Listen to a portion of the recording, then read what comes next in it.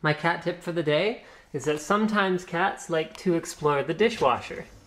This is Rumble. He is an expert at getting into places that he is not allowed to go, and now he's in the dishwasher. I haven't quite figured out how to get him out of there yet.